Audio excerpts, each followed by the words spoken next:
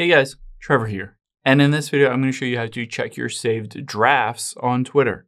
It's pretty quick and easy, so let's jump right in. Now, whether you're on your iPhone or Android, let's open up the Twitter or the X app here. And let's say we start to create a draft. So I'm going to tap the little plus at the bottom right. And I'm just going to say hi and say I wanted to add a GIF on here. So let's say this is what I was going to publish, but I don't necessarily want to right now. I can hit cancel and save draft. Now to be able to find any of those, again, we're going to tap the little blue plus at the bottom right. And now at the top right, right next to post, you'll see drafts. I can tap on drafts. And here is that one. Of course, I can open it up to continue editing it and then tweet it. Or I can always delete them just by tapping edit at the top right selecting this one and hitting delete.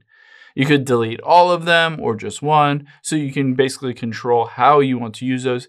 Keep in mind, if you do delete the Twitter or the X app and then reinstall it, all of those drafts will disappear. I hope this helps. If it did, hit the subscribe button down below. It really helps me out. And I'll catch you on the next one.